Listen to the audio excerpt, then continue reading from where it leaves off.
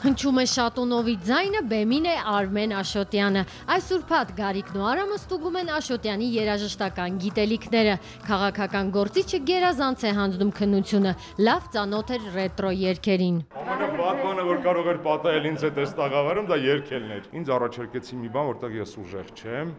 երգել, բայց կարծում եմ, տենց ընդհանուր ոչինչ։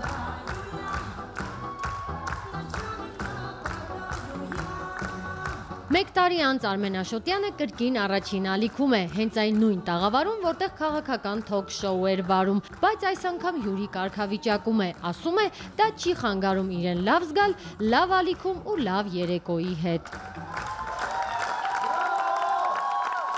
Այսօր հանրային ակնհայտ առաջընթաց է ապրում, ես մեկ տարիա չեմ եղել այստեղ, անգամ այն ժամանակ տեսանելի էր այդ փոփոխությունները, բուրըն կյանքը, էներգիան, թարմությունը, որ կա, մեկ տարի անց կարող եմ փաստել, որ հանրայինը գնում է առաջ։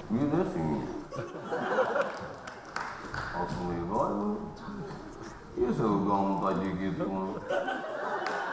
Լավ երեկոյին Հովանես Ազոյանի առաջ բարդ առաջադրանք են դնում։ Նա կարմիր գլխարկը փոքրիկների համար կարդում է երկիչների, դերասանների ու քաղաքական գործիչների ձայներով։ Կարմիր գլխակ մանիչապես ճանապարհ են հում, տակի գիտում։ Որը գտնվում է Հայրվան գյուղ։ Կարելի ասել օրվա ընթացքում անդադ հեքիաթ եմ կարդում տարբեր մարդկանց։